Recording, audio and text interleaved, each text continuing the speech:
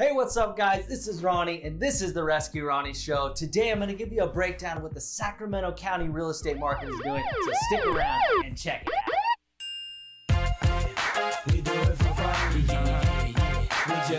All right, so we're back. This is Ronnie, and this is the Rescue Ronnie Show. Make sure that you subscribe, like, and leave comments at www.rescueronnieshow.com all right, so let's jump into this. The Sacramento County real estate market update. All right, we'll go for sold properties, April to May. All right, so in April, 1,002 properties were sold. In May, 984 properties. So we did have a slight dip of 1.8%.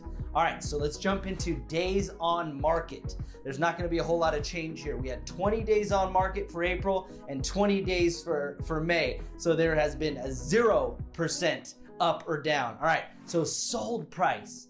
The min or the, the medium sold price is 440,000 for April. 443,000 for May. So that went up 1.8%. So houses are selling for even more now.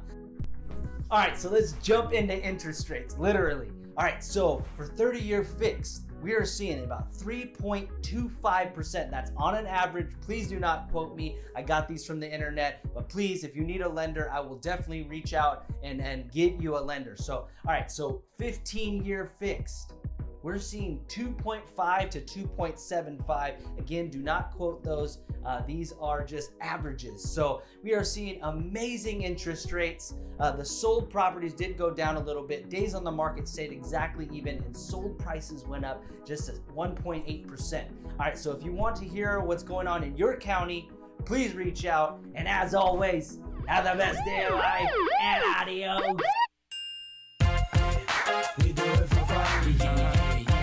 just